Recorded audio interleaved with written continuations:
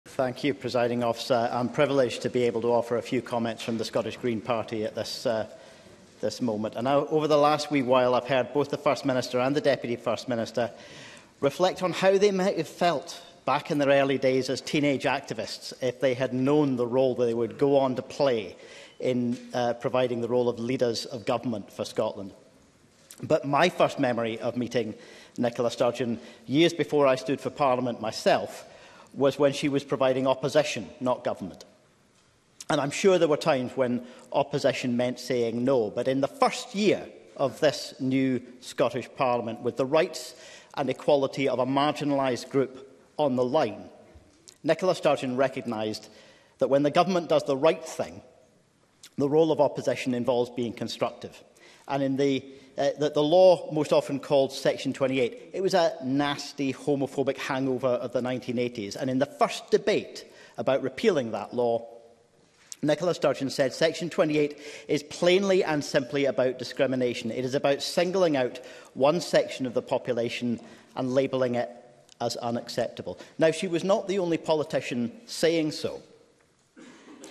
But what she did helped to ensure that that issue was not seen as government versus opposition, and that rival parties with serious disagreements could work between them to find the common ground and work together for the good of the country.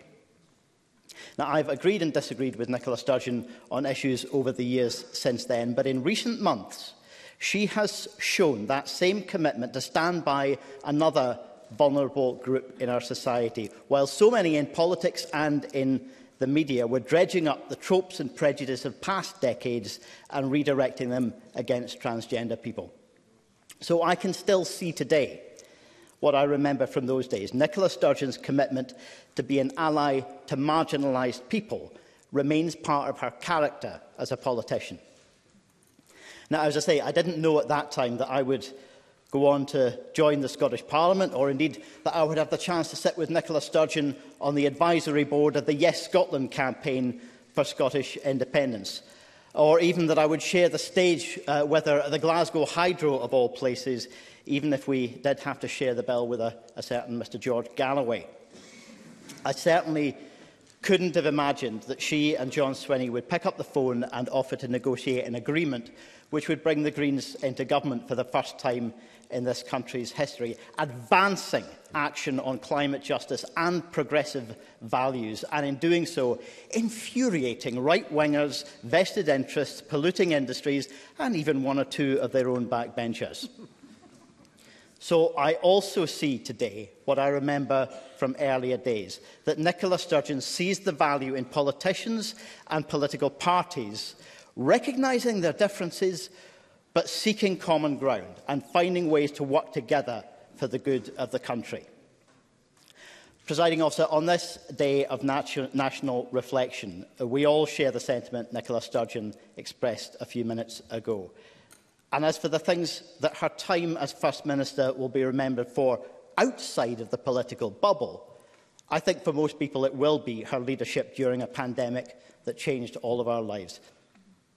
At the start, as we were just coming to terms with what the world was facing, some governments around the world chose bluff and bluster, pretending they knew the answers or offering false simplicity in place of the complex truth.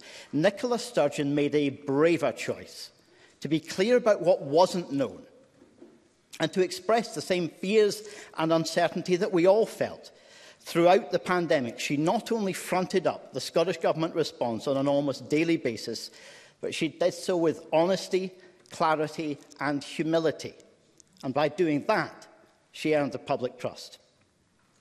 So, presiding officer, whatever the future brings, Uh, I thank both Nicola Sturgeon and John Swinney for their service to Scotland. I wish them very well, and my highest hope for them is that they continue to find ways to infuriate all the right people.